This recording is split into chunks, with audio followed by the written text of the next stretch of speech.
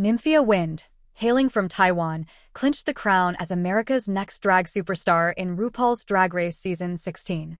Her innovative runway looks and fierce lip-sync performances set her apart, making her the third Asian-slash-Pacific Islander winner in the show's history.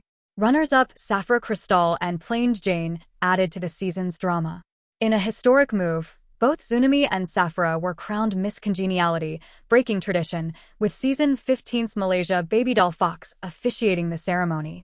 Nymphia's victory speech emphasized living fearlessly and authentically, particularly celebrating her Taiwanese roots.